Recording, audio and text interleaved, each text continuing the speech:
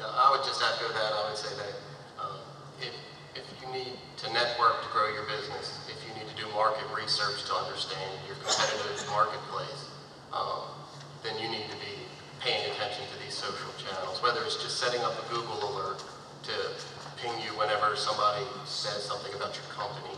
You could set up Google alerts for, like, we're an advocacy organization. Uh, we represent the business community in Annapolis, so I have Google alert, alerts set up for Maryland business healthcare, Maryland business taxes, and whenever something's mentioned in the media, something's mentioned on a blog, something's mentioned on Twitter, uh, get an alert, and it's just a good way to understand what's going on out on the internet. So from a market research standpoint, I think that it's critical. From a networking standpoint, I think it's just another uh, tool in your marketing toolbox. One of the things I like to tell people not sure whether they should go on Facebook or in, particular Facebook because if you're worried about what you're going to be writing and, and, and how you should approach it, I give the advice about just be a fly on the wall, just set up a really basic account and just watch what other people are doing. And the people that I saw do this where they just kind of set up the account and then I saw them slowly but surely starting to post. The one, I just came from the AICPA tech show in Vegas and one of the big, best pieces of advice that I can hear is at the very least, set up an account, even if you do it, so that you can protect your name. Because the names are starting to get taken really quick. And especially if you have a common name, you might want to put, you know, Joe Smith CPA or, or put your geography with it because it's starting to be where you're having to put your name backwards or initials and pretty soon all those, just like websites when you're trying to put up something for your firm, if the name's taken, you're going to get to this point where people are searching for you and somebody else's profile's coming up.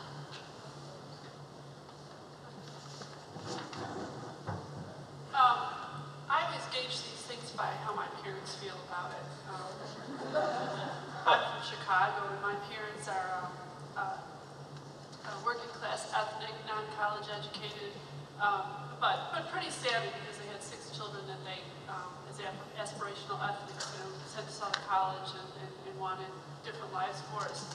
And they're um, proud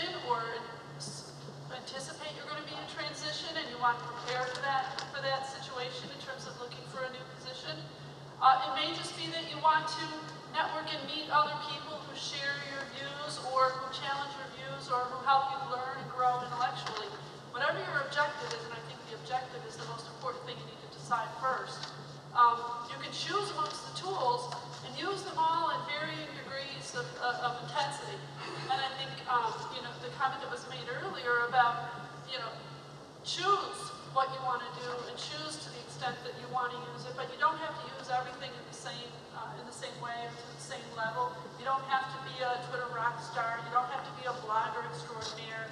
Um, you just need to decide what of these tools uh, make sense for you in terms of what you want to accomplish. But choosing your objective, deciding what your objective is, is the most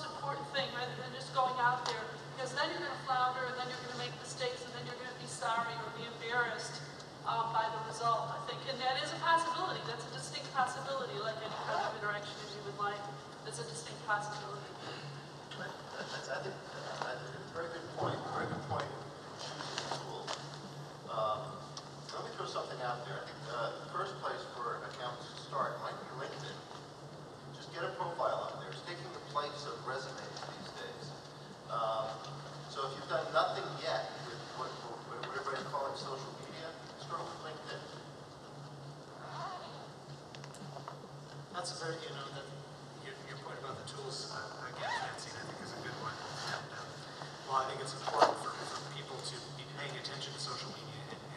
I, I often go back to a quote, I think, I, I believe it was Chris Brogan who, said this, um, or no, it was, uh, uh, uh, uh, Seth, uh, Seth Godin, um, in, in his blog.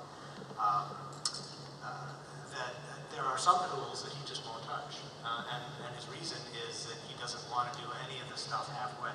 He says doing it halfway is worse than, than not doing it at all. Um, so I think the idea is to find what works for you um, and, and, and go with that rather than maybe trying to stretch yourself too thin. You know, play around a little bit, find what really works for you, uh, and make that your, your tool of choice. I mean, I have to constantly um, be, be on guard because I have such a um, strong presence on Twitter. I, I really, that's really been an incredibly useful tool for me for distributing the content of my blog and getting people who wouldn't ordinarily read about the accounting profession and the big four accounting firms to actually read something that I've written. And that's the purpose of Twitter for me, is to get them to be uh, interested in the blog and what I'm writing, um, whether or not they're in the industry. Um, but uh, you see all these people and you meet all these people, and now I have all kinds of people that I'm interacting with, and the tendency um, to see all these what I call them gadget boys. Have people who are really into like every new new new tool, every new software, every new application, every new kind of iPhone, every new you know everything. And there's a tendency to think that you're going to get behind if you don't at least know or try. But I remember yesterday I answered a question. A good friend of mine, Alan Schoenberg, is the director of communications for the uh, Chicago Mercantile Exchange Group, and he put out a question: um, stumble upon, or Digg, or delicious. And I just said, none of the above. My, my SM life is very simple. And, and that's exactly why, because I can only absorb so much. I'm of a certain age, and I think if I have to remember one more password, something's going to drop out the bottom. Um, and, and what I'd like to add, I mean, uh, uh, it's, I don't want to play, I'm playing both sides of the fence. 'cause on the one hand, I'm saying you can be a fly on the wall from the beginning, and I think that's okay. I also think that you can, you should, i- in any social media policy, it doesn't have to be a formal policy, it's whatever policy you set in your head, you need to constantly revisit this, okay? Because a few months ago, I was anti-Twitter. I said, what is that? It's just text messaging to the masses. It's, see why it's great for teenagers to say, hey, I'm at the mall. Like, how does it work for me? And now I, I couldn't believe that I wouldn't have done that as a journalist who wants to drive hits to my website. I wish I would have had that years ago. Um, but it's a constant revision. And if you are going to, there's different, every different tool, and again, having the purpose and the goals, and those can change. You set a goal, every month. Every, you have to revisit because otherwise you're going to abandon this and you're going to be going at it in the wrong way. And if you are deciding that you want to use, I'm going to use Facebook as an example. If you're going to use Facebook or Twitter for a certain purpose, you need to have somebody in your organization that's in charge of it, that is committed to it because it takes a lot of time. Some people say, oh, it only takes me a few minutes a day. I don't buy that. It takes time. If you want to monitor this, if you want see what people are saying about you, as opposed to just, and and especially as accountants, I know that you're concerned about what people are saying about you and how you're being perceived.